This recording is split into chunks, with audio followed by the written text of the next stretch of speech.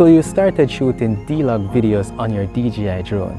In this video, I'm going to show you guys how to color grade and color correct your D-Log or flat profile videos that you record on your DJI drone, specifically the DJI Air 2S. The DJI Air 2S has a 1-inch sensor which is able to capture D-Log footages in a 10-bit color codec.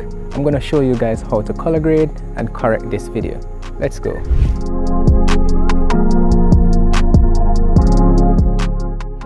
Guys, so here I am in Premiere Pro and I'm using a Windows machine running Windows 11 and I am currently using Adobe Premiere Pro 2022. Now the first step you want to take when color grading your videos is to drag an adjustment layer, put it on top. I have three clips right here all laid out on my timeline. They are 15 seconds in total length.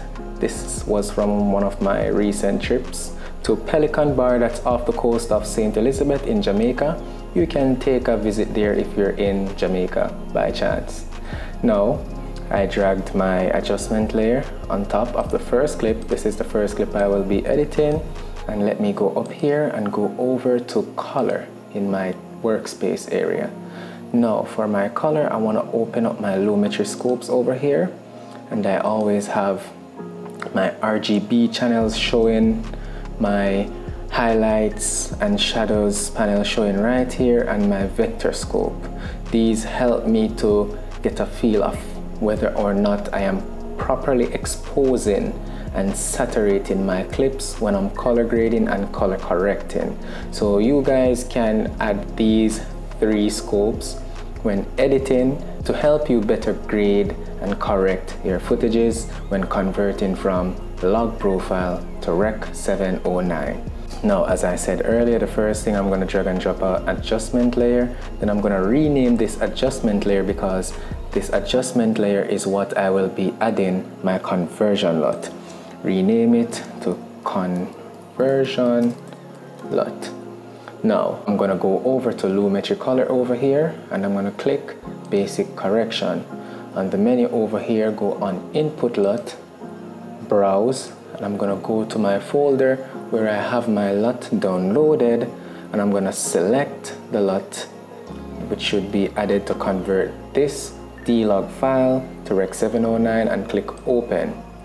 And right away you will see some magic happening. Now this conversion LUT has converted your video to make it look as how it would look if you were shooting in normal or natural mode on your drone and it has corrected the colors so it don't look desaturated and washed out as it did before but it still needs work it's a bit tad bit overexposed and the colors are still a bit too pale so let's go to work the second thing to do is to correct your exposure.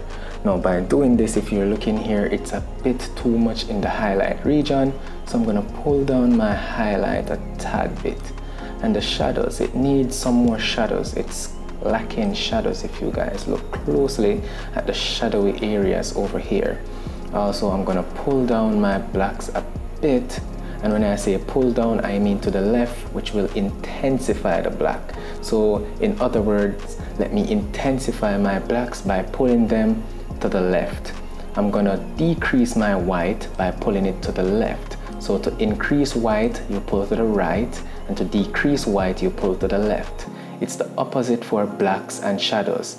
If you pull to the left, you increase blacks. Pull to the right, you decrease black. So go to the left if you want to increase blacks, to the right if you want to decrease black. And it's the opposite for whites and highlights. The next thing I want to do is to bump up my contrast a little bit to emphasize some more on my shadows and my highlights. So I'm gonna put my contrast to about 25, thereabout. And nice the video is coming to life. Look at it. It's looking lovely as is right now but we're gonna add some more finishing touches. The next thing I'm gonna do is go down to color wheels and match.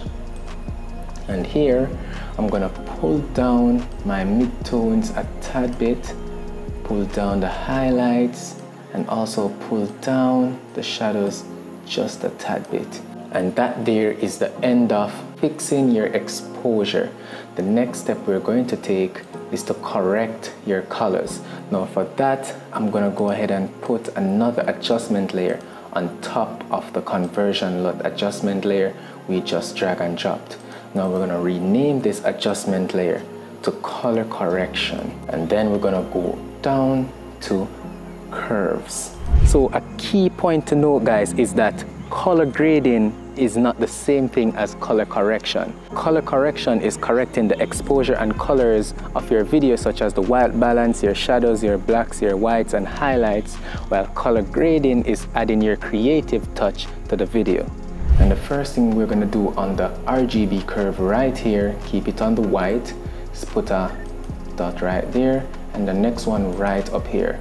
And we're to pull this one down here down a little bit and you're to pay attention to your vector scope over here to ensure that it's not touching the zero line too much or the 100 line too much. It should always lie in between so everything is in balance and always ensure that your colors over here are not all over the place and that they are close to each other as much as possible. So I'm to pull this down a tad bit more to add more emphasis to my shadows because down at the bottom here is affecting the shadows and blacks within the video. The next thing I'm gonna do is go down to hue and saturation. Now I want my water to look saturated and rich in color.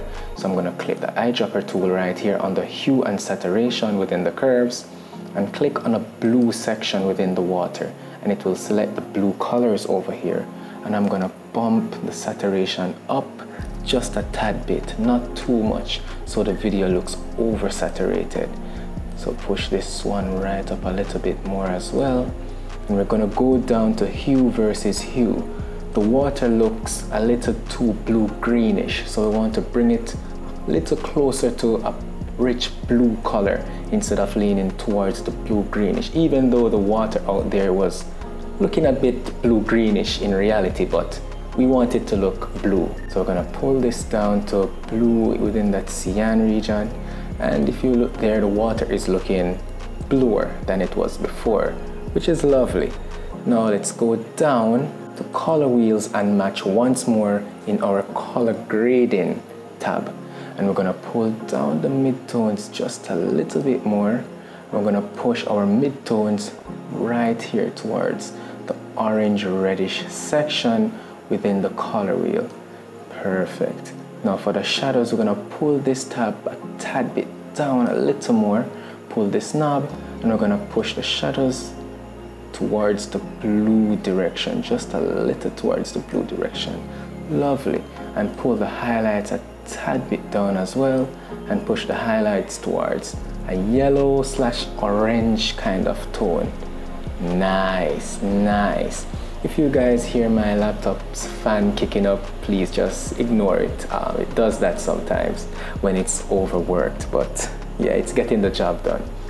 Now we're gonna go back up to curves and I want the touch on this roof to look a bit more orangish and a tad bit more saturated. So I'm gonna click hue and click on the roof right here. And I'm gonna click the orange tab, red tab, and push the red down to a little orange color like right here. Perfect. And then I'm gonna go up to saturation and I'm gonna click on the touch tab again and bump the saturation up about right there. Let me bump up this one as well. And perfect. Lovely. Now the photo is coming to life. Let us scroll through from the beginning. Let's see how it looks so far. This is looking lovely Lovely. Now let's look what it looked like before we started the process so you guys can have an idea of what we've done so far. This is the flat video that we started with. This looks washed out and like an alien video. Now this is with the conversion LUT and our exposure correction added and then this is with our color correction added lovely. This is looking stunning. Now I'm gonna add one more layer of adjustment and this is going to be our creative touch to the final video. Now I'm gonna go back up to basics and I'm gonna push our temperature a little towards the warmer tone because if you look over here it seems as if the sun is slightly setting so there are highlights and reflection on the water. So we want that to look yellow to depict sunlight when the sun is setting. Right there perfect. 9.8 let me put it at 9 there you go that looks lovely. The next step is to go down to creative. And I'm gonna use a LUT that is built into Premiere Pro because I kind of like it. This one the Fuji Eterna 250D and I'm gonna keep the intensity as is because it looks lovely on the video. So the Fuji Eterna looks lovely on the video but I'm gonna turn down the intensity to about 50 lovely. Look at this video. It's looking stunning. This video is looking amazing so far. And we have a few more touches before we call it quits with this video. We're gonna bump the sharpness up to 10 let me type it in. 10 for sharpness. Put the vibrance at around 10 as well. And we're gonna put the saturation at 110 nice. Now this video is looking amazing. Look at that.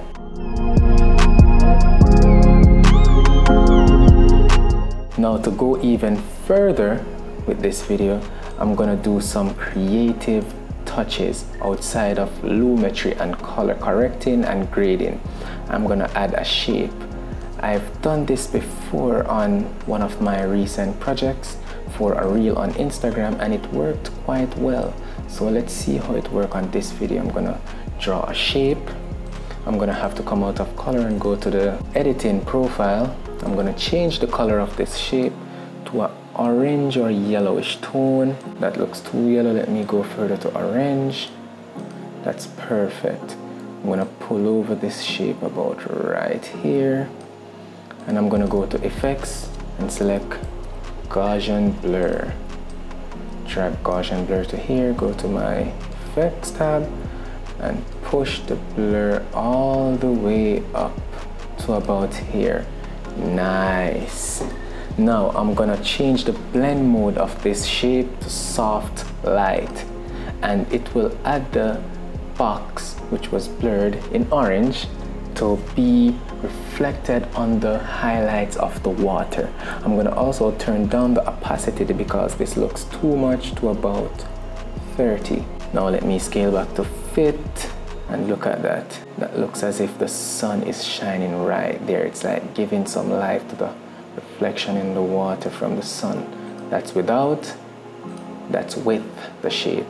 Without, with.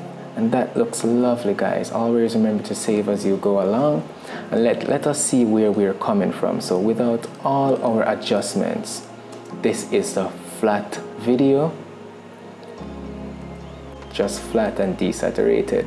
This is with the conversion LUT and our exposure adjustments now this is with our color correction this is with our creative touch Nice, and this is with the color on the water reflection from the sun. This is stunning. This is simply amazing. A quick commercial break. Do hit that subscribe button if this video is interesting so far. Let's continue. Now I have two other videos that I captured while I was on the trip. And let us copy these settings and drag over to these videos as well and see if they work. And more than likely they should work because while capturing this video I used the same setting on my drone camera for capturing all the videos. So whenever I'm color grading the color correction and grading will be consistent throughout and I don't have to do much tweaking and editing across the videos because the settings were the same throughout recording. And as you can see the settings match the next video perfectly. The only thing I would move though is the box right here. I would put it up here since the sun is up here. And there you go. Lovely. Now let's watch these two videos back to back nice beautiful, beautiful. I would turn down the highlights on this one a tad bit. It looks too bright right there, so I'd pull down the highlights a little bit and that should fix it. Lovely. And then the final clip.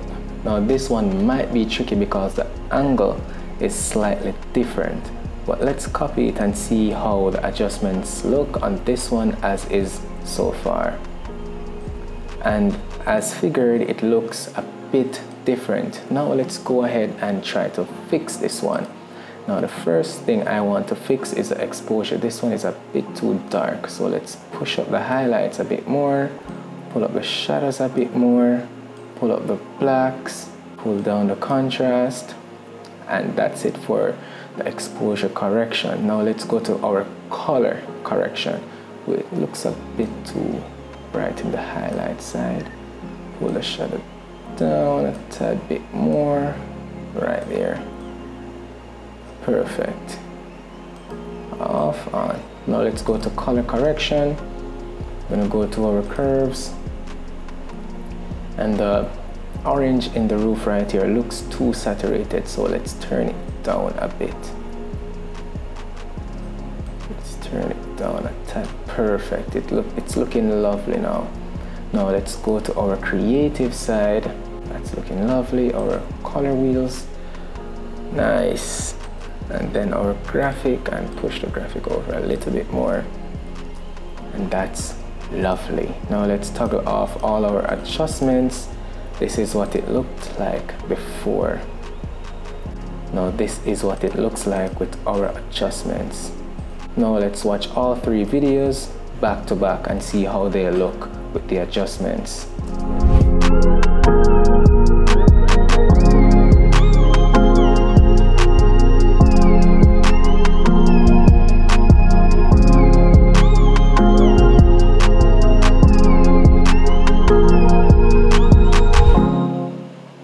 please bear in mind that once you pass your color correction and your exposure correction, the creative aspect of color grading is all up to your liking or the mood or fit you want the video to have.